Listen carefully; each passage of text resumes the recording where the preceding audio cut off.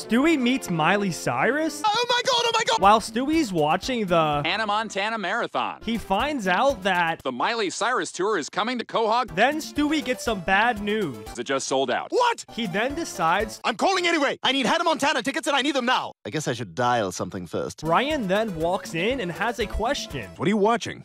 You're watching Hannah Montana? Yeah, to make fun of it. I mean, look how stupid she is with Brian. It's my favorite show. Okay. Stewie tries to get Brian's help. No, it's a stupid show and a huge waste of time. Are you crying? Yes, Hannah Montana is my hero. Brian takes him to the Miley Cyrus concert. Act like you belong here. Oh my god, Miley, I love you, I love you, I love you. Who are you guys? Brian then shows off his Speech 100. He's just a baby and he has cancer. Really? Yeah, he's got a tumor in his head the size of a football. I think I can see it. They then find out that Miley is a robot. Miley Smash! Hey, hang on, hang on, maybe I can fix this.